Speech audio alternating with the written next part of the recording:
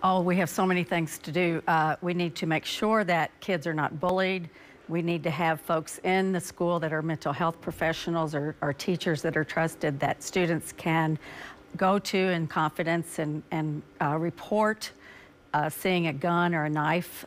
But I'm totally opposed to guns in the schools for teachers or for anybody. Um, we need to, of course, fund public education and make sure we have mental health counselors in every school.